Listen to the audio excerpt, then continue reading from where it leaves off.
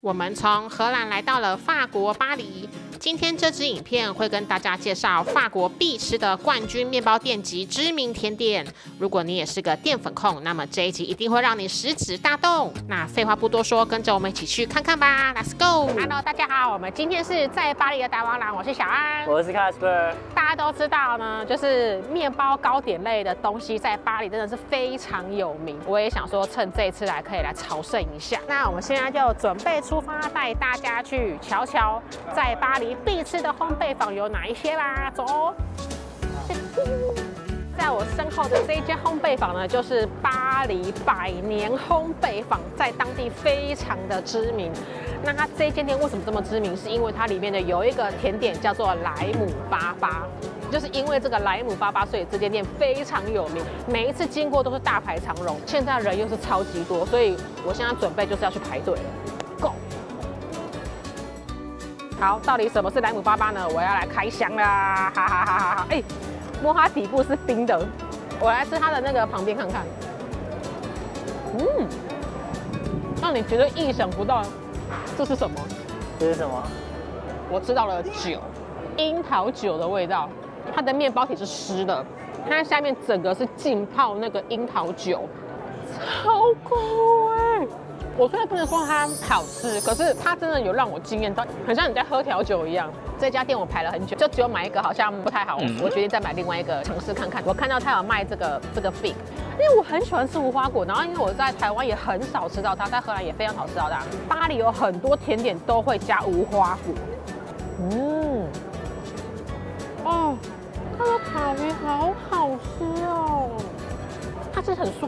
湿润，它真的是无花果果酱那种感觉，可是完全不甜。它甜是它下面这个塔皮比较甜，所以它整体吃下来的甜度是刚刚好，非常好的，不会让你觉得很死甜这样。下一家走，现在来到这一间烘焙坊呢，是网友击推的，看网友是说一定要吃它的 cheese 蛋糕跟可颂。对，我刚刚点了一个 cheese 蛋糕，然后我刚刚看到一个这个。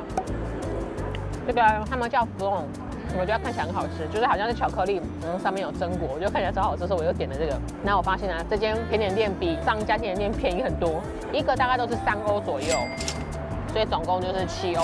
我现在去吃蛋糕好了，看起来好好吃哦。嗯嗯，它的切蛋糕跟我想象的切蛋糕有点不太一样，它的这个切蛋糕里面是有加柠檬，可是不会很酸。就是我觉得它可以解那个 cheese 的那种腻腻口感，我觉得好好吃哦。它不是那种很割的 cheese 那种，它是舒芙蕾的那种口感，难怪别人说很惊艳。我要来吃另外下一个 f r o m 噔噔噔噔，哇，满满的榛果，然后我要吃看。哦哦哦，它中间这一层是有点咖啡味，泡芙的内馅好好吃哦。它这间里面的面包跟甜点的种类超多哎。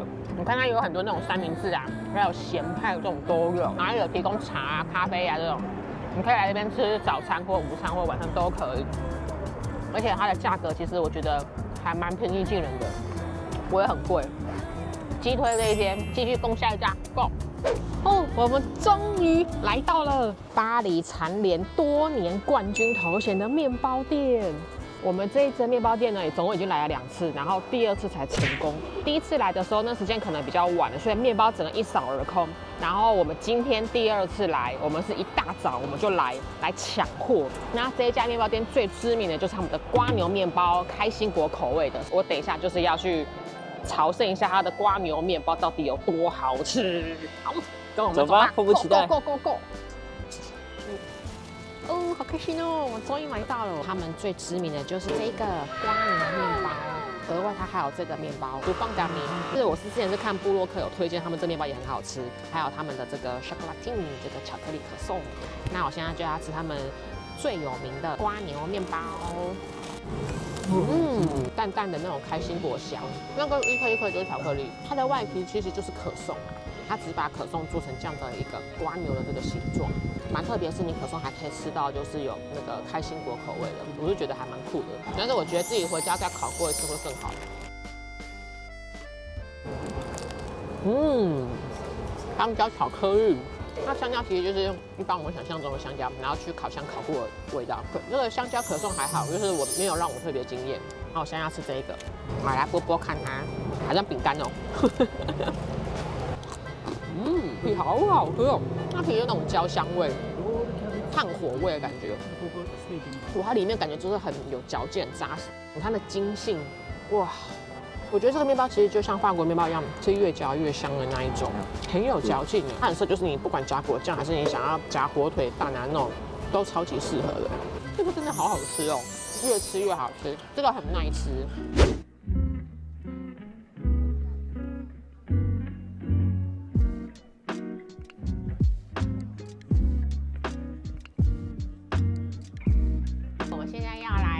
像刚刚我买的点心，这家店是柠檬塔特别有名嘛，所以我就点了一个柠檬塔。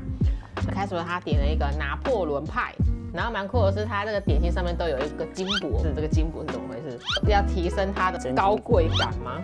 它蛮贴心的哎，它下面是有用胶带给你固定住哎。因为我本身就是个柠檬派爱好者，我真的超级喜欢吃柠檬派的，好香哦！其实可以看到它上面是撒满了那个柠檬皮碎屑的感觉，哦，好香好吃哦，嗯。就不用多说，一定是好吃。嗯，柠檬柑橘类的香整个在你口中爆发，然后刺激你食欲，更想吃。哇，真的好好吃哦，也要瘦。这几天吃下来的那个糕饼店，我最喜欢这个柠檬派，它是第一名，因为它实在是很爽口，因为是不腻口的。非常推荐大家来吃这一间巴黎知名糕饼店，超好吃，它柠檬派超好吃的。你们之后有来巴黎的话，你们也可以参考看看我们以上介绍这四间甜点店跟面包店。那希望你们会喜欢，那我们下次见，拜。我们现在来到了这个巴士底广场，然后吃它，吃一口看嘛。